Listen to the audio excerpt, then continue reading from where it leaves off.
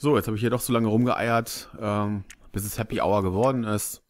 Und ich werde jetzt einfach mal mein Glück versuchen und hier noch ein Pack ziehen. So, dann fangen wir mal an.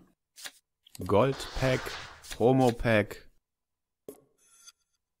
Ja, damit. So, als äh, kleinen Bonus nochmal.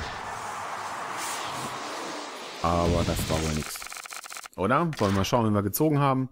Wir haben gezogen Fuchs. Hammer. Ein Hoch auf Fuchs und auf die anderen Kollegen.